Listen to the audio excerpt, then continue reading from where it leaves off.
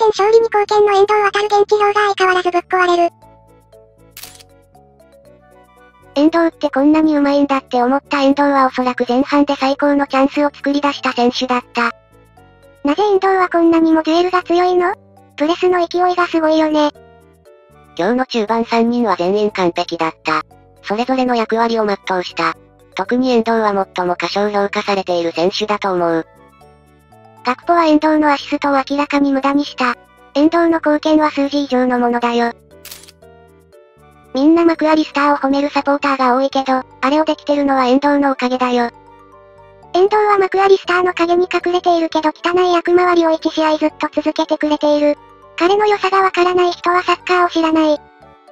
少なくとも遠藤航は絶対に一流だ。彼はなんと素晴らしい選手だろう。どう見ても50歳までプレイできるだろう。大げさにするつもりはないが、遠藤航は史上最高の選手かもしれないと思う。学ポ決めてくれ。